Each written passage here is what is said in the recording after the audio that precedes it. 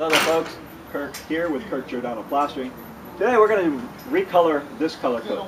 The house is less than 10 years old, but yet you can stick credit cards into the cracks. Uh, my son and I came here yesterday. We put this fiber mesh tape over the cracks and then we put a cementous material on it. So today we're going to hose it down, saturate it with water, and then apply another color coat. And a fella asked me yesterday, will the cracks come back? possibly 2%, possibly 10 uh, when a 100-ton house decides to move. No amount of fiber mesh tape is going to stop it, but usually this does work. The reason we have this cracking here is we're locked in.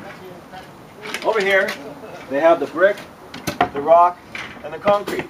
So the stucco has nowhere to go because there's no expansion here.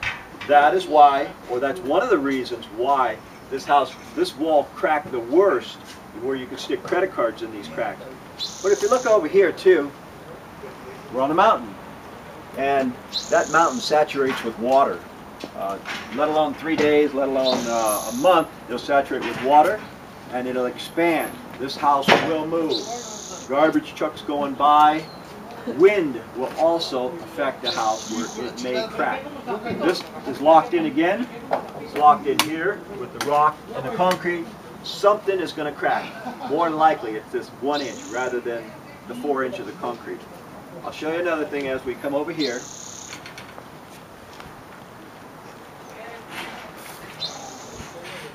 The wall here is the same thing.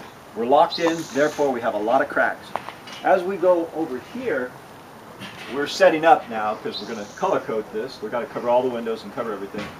We're locked in here too, and we're locked in over there. But where we're not locked in, there's very few cracks.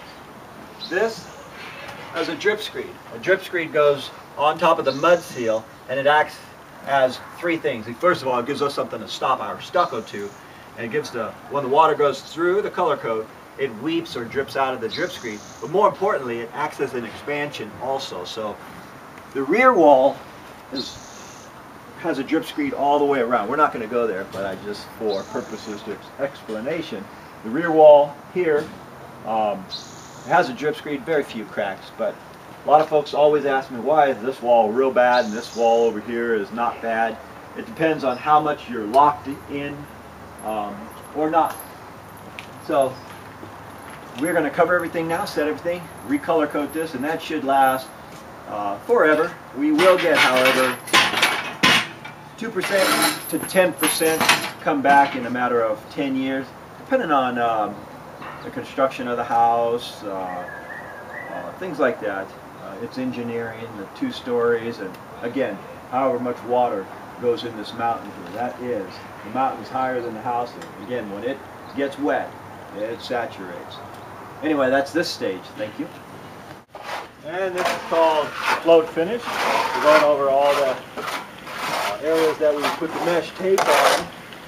It's getting kind of hot out there, so we're in a hurry to get out before the sun comes out. So there you have it. We are on our way.